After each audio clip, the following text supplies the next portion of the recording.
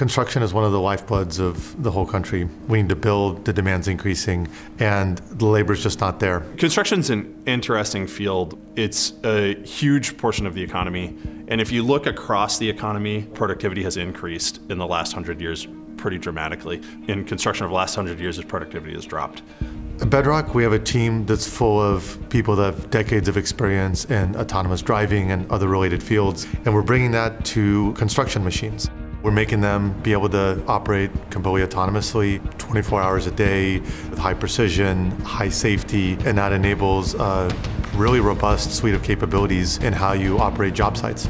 We have a computer inside this machine. It's sucking in data from our sensors on the top of the machine, getting data from the machine itself.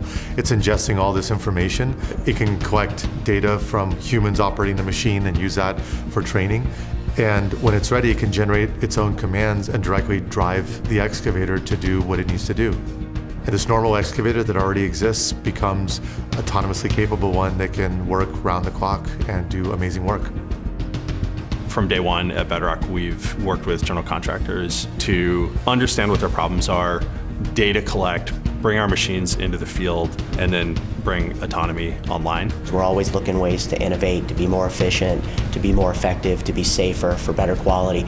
And it's hard for me to think of an innovation that aligns more closely with our core business than Bedrock. The Bedrock system can be fit onto any existing excavator. So we have the ability to go overnight from a system that was fully manual to a system that has augmentation and autonomy built into it.